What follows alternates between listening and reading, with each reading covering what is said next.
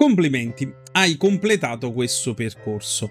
Quindi, eh, riassumendo, analizza cosa vuoi e definisci nel dettaglio l'obiettivo.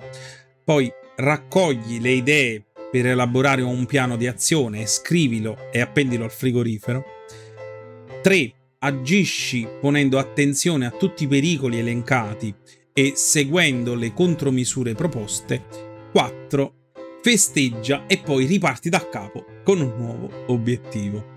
Abbiamo quindi ottenuto un percorso ciclico che è nel contempo eh, sostenibile ed efficace.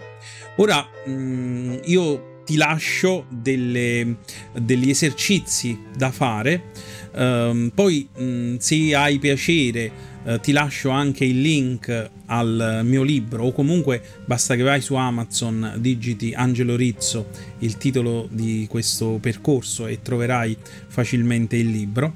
E nel libro sono riportati anche um, le schede che io ho elaborato per facilitare questi, questi esercizi. Uh, gli esercizi sono necessari sostanzialmente per allenarsi a raggiungere l'obiettivo. Spero che mh, ti sia piaciuto questo percorso e se ti fa piacere mh, scrivimi un, una recensione o un feedback. Arrivederci.